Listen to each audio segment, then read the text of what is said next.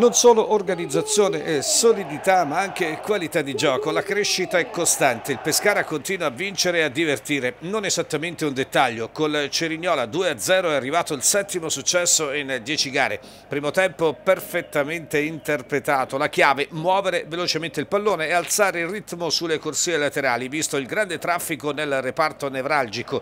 I biancazzurri lo hanno fatto prima sulla fascia sinistra, anello debole della difesa ospite, poi a destra il piano tattico strategico ha funzionato, il rammarico aver chiuso il primo tempo con un solo gol di scarto rigore di Lescano. Davanti si continua a sprecare troppo. Qualche rischio di una certa consistenza invece nella ripresa attraversa di D'Andrea prima del raddoppio che di fatto ha chiuso i conti. 2-0 figlio di una splendida azione corale che ha coinvolto Cancellotti, De Sogus, Crescenzi e Vergani, autore del gol. Questa volta non ci si può lamentare della direzione dell'arbitro Emanuele Emanuele della sezione di Pisa. È andata obiettivamente bene nella lettura di un episodio in particolare. Il contatto Cancellotti-Malcore in area beccazzurra, addirittura giallo all'attaccante per simulazione.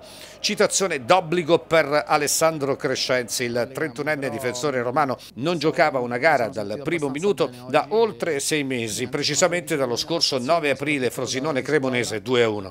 Ha risposto con la solita determinazione, la consueta generosità. Crescenzi è un combattente, alle parole ha sempre anteposto i fatti, in questa categoria è senza dubbio un lusso. In generale numeri entusiasmanti, 7 vittorie e un solo KO nelle prime 10 giornate, 23 punti in classifica, 19 gol fatti e 6 subiti, nessuno su azione, con 5 clean sheet.